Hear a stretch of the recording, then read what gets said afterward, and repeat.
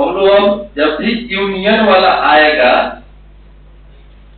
तो दिमाग में इस तरह से सोचेंगे ए यूनियन जब आएगा तो कहेंगे ए का नंबर जोड़ बी का नंबर माइनस दोनों के इंटरसेक्शन का नंबर जितना फॉर्मूला आप देख रहे हैं, सब में इंटरसेक्शन वाला घटिएगा।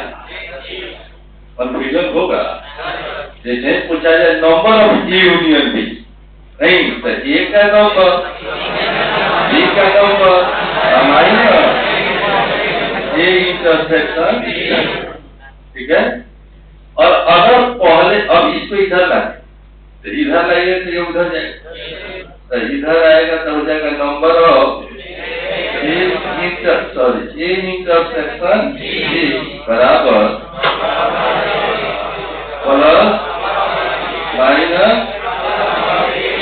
यूनियन यानी कि जब बाएँ यूनियन रहेगा तो बाएँ इंटरसेक्शन और जब बाएँ इंटरसेक्शन आएगा क्या कोई तो यह हो गया आपका कौन नंबर फॉर्मूला यह तीसरा है, यहाँ ड्राइव किए हैं और बाद में फॉर्मूला आया उतारिए इसको।